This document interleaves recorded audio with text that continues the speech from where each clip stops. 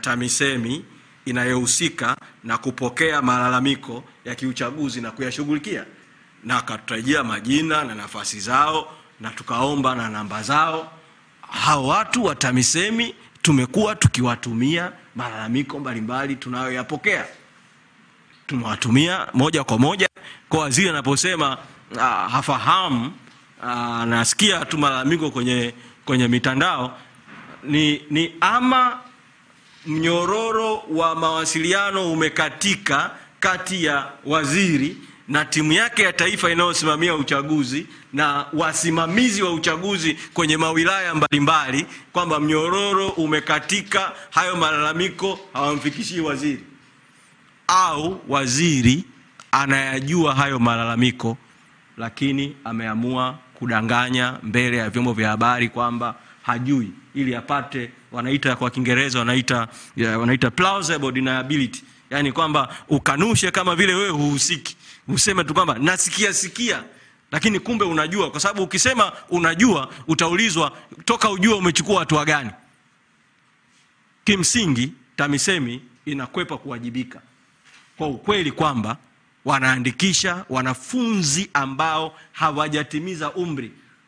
Hatuzuii sisi mwanafunzi wa kidato cha sita aliyetimiza umri wa miaka kumi na nane uh, kujiandikisha. Hatuzuii wanafunzi kujiandikisha, lakini unapoletewa mtoto wa form 1 form 2 ambaye unajua kabisa na mtoto mwenyewe anaona aibu mbele ya kamera, sawa, hana umri, afta misemi unasema hujui haya yanayotendwa na waalimu huko na wasimamizi huko ni kwa sababu wanataka kumridhisha waziri huku juu kwamba tumetimiza malengo ya uandikishaji, yaani zile asilimia alizosema waziri 45 akasema mkoa fulani unaongoza, mkoa wa Tanga si mkoa fulani unaongoza, mkoa fulani huko chini. Sasa kila mkoa unataka kuridhisha takwimu za uandikishaji, uonyeshe umeandikisha watu wengi kwa kupika takwimu. Sisi tutaendelea kuwafikishia malalamiko kwa sababu najua wanayajua, tutawafikishia kama, kama, kama, kama wanaona wanapenda tuandikie barua nyingi, tuta- tutaenda kwenye mnyororo wa kuandika barua, lakini kwa uharaka wa mambo ya kiuchaguzi tunawasiliana nao moja kwa moja, wahusika moja kwa moja, na tunawafikishia moja kwa moja. Kwa hiyo nasisitiza tu hapa kwamba wasiseme kwamba hawajui, na wala hatusemi kwamba sasa ndio tutaanza kupeleka malalamiko rasmi. Tulishaanza kuwapelekea. Nimewaeleza kwa mfano hili la kuhusu mwongozo huu na matatizo ya mwongozo. Waziri alipokuwa anazungumza pale, anasema kama vile vyama kama vile hatuna mawasiliano nao hivi, kama vile sisi tuko pembeni na wao wako pembeni. Niwaambia kikao cha kwanza nao tumefanya, na alikuwepo naibu waziri wa TAMISEMI tarehe kumi na nane mwezi wa nane. Miezi imepita hawajashughulikia. Kikakaa kikao kingine Zanzibar hawajashughulikia. Tumekwenda Dodoma tarehe kumi na moja mwezi, mwezi wa kumi hawajashughulikia chochote. Ikafikia stage Dodoma, tukawaambia kwenye kikao cha Dodoma kwamba kwa kweli hatuwezi kuendelea na kikao mpaka TAMISEMI waje hapa watupe majibu kwanza, wameshughulikiaje ya nyuma. Akaja naibu waziri wa TAMISEMI akaahidi kwamba sasa haya tutatoa ufumbuzi, tutatoa ufafanuzi. Umetolewa ufafanuzi jambo, jambo mambo mawili tu, moja hili la tarehe za kuchukua fomu na kurudisha. Pili, wametolewa ufafanuzi kwamba sasa mawakala wa vyama wanaweza kuwapa wakati wowote. Kwa maneno mengine, uh, katika maeneo ambayo mawakala wetu walizuiwa, hata leo wanaweza kwenda na wakala kiapo na wakaingia kwenye vituo, lakini bado hawajatolewa ufafanuzi. Mawakala wa tarehe ishirini na saba kwa ratiba kabisa wanatakiwa kuwapa lini, wanatakiwa kuingiaje, hili hawajalitolea ufafanuzi, na ni jambo zito sana. Hili tutalizungumzia huko mbele ya safari. Kubwa la sasa hawajatolewa ufafanuzi, utata kuhusu udhamini. Hawa watu si kwamba hawajui, hawa watu wanafanya makusudi, kwa sababu wanafanya makusudi na wameng'ang'ania kuendesha huu uchaguzi makusudi, ili, ili wayafanye haya wanaoyafanya. Kauli yangu kwa umma, umma na wenyewe ufanye makusudi kuchukua hatua, sio sio kusubiri. Sasa hii jinai hizi jinai zinazotendeka kwenye vituo, chama tutachukua hatua tunazochukua ndani ya chama, lakini hatua ya kwanza kukabiliana na jinai ni nguvu ya umma. Si, si, sichelei kusema na naweza kusema mbele ya vyombo vya habari, na msiogope kufikisha ujumbe huu kwa umma.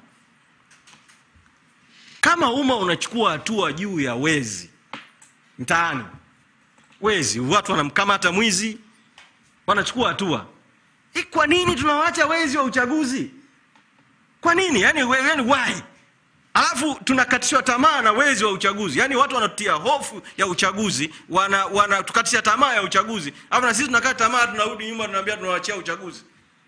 Tusiwaachie wezi wa uchaguzi. Tukichukua hatua kwa pamoja kama umma hawa wezi watarudi nyuma. Unamwitaje? una- unamwitaje jina gani? Unaweza kumwita jina gani msimamizi wa uchaguzi ambaye anaacha kituo chake cha uandikishaji anamwacha wakala kwenye kituo cha uandikishaji. Alafu anakwenda kuandikisha mtaani. Umwite jina gani? Una- mwandikishaji ambaye anajua kabisa hawa ni watoto hawajatimiza miaka kumi na nane. Alafu anashirikiana na mwalimu kada wa ccm anapangisha watoto foleni. Hey, unamhitaji mhalifu wa namna hiyo? Ambaye unajua kabisa athari yake ni kwamba haya majina ya watoto wale watoto wanaoandikishwa eh, niwaambie waandishi. Si kwamba eti siku ya kupiga kura watoto wote wataenda kupanga foleni ya kupiga kura. Eh, si, nia yao sio hiyo. Nia yao iko hivi. Wakishaandikisha majina ya watoto. Kwa kuwa uchaguzi huu daftari halina picha za watu. Lina majina tu. Yale majina ya watoto watapewa watu wazima ambao hawajajiandikisha ambao kazi yao itakuwa kuzunguka mtaa mmoja mpaka mwingine au kitongoji kimoja mpaka kingine kwenda kupiga kura kwa majina wanayopewa kwamba kapiga jina hili huyu mtu si, exist huyu mtu tulimweka tu. Na ndio hayo majina vile yanahamishwa huko kwenye vitabu. Kwa haya ni maandalizi ya kuiba uchaguzi. Sasa kwa sababu ni maandalizi ya kuiba uchaguzi namna ya kushughulikia lazima tushughulike nao kama tunavyoshughulika na wizi mwingine. Hiyo mi ndio rai yangu kwa umma tushughulike kama tunavyoshughulika na uwizi mwingine. Wakitaka wasishughulikiwe kama watuhumiwa wa wizi. Watende haki wat, waheshimu kanuni. Hilo tu hilo tu hilo tu ndio rai yangu kwa wasimamizi wasimamizi wasaidizi na waandikishaji kwenye vituo. Tendeni haki msipokee maelekezo ya wizi na udhalimu na uhalifu na nyinyi mkashiriki kuyatenda. Nyinyi ndio mtakuwa maadui wa umma. Watieni moyo wananchi. Wananchi wakiona zoezi inakwenda vizuri inahamasisha umma kuondoa hofu kuondoa kukata tamaa kuachana na historia za nyuma. Sasa kama badala ya, ku, ya kutibu majeraha ya nyuma mnatupa majeraha mapya alafu mnasema wananchi hawajitokeze wakati mnawafanya wananchi wasijitokeze mnahujumu zoezi. Ni nihitimishe kwa kusisitiza. Sababu naweza umma ukaona watu wanalalamika sana. Nawaomba sana. Pamoja na malalamiko haya tunayoyasema tunawaomba muwe na matumaini. Na matumaini yanatokana na ukweli kwamba wananchi mkijiandikisha kwa wingi pamoja na hujuma zote lakini wananchi wengi mkaenda kujiandikisha wananchi mnaweza sasa kwa pamoja tukaelekea kwenye hatua ya kuchukua fomu kurudisha fomu. Tukamaliza kuchukua fomu tukaelekea kwenye hatua ya kampeni. Tukamaliza hatua ya kampeni tukaelekea tarehe ishiri na saba kwa wingi wetu kwa nguvu ya umma tutashinda kwenye vijiji tutashinda kwenye mitaa tutashinda kwenye vitongoji.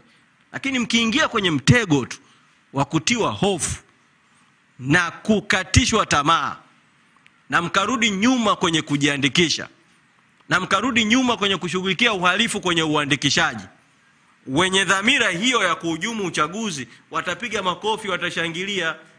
Wataona kwamba mmefanikiwa me, me, yani kama kauli ya makala ya jana kwamba anabeza kwamba chadema ilikuwa inafanya maandamano. Badala ya maandalizi. Of course asemi ukweli kwa sababu sisi tumekuwa tukifanya maandalizi.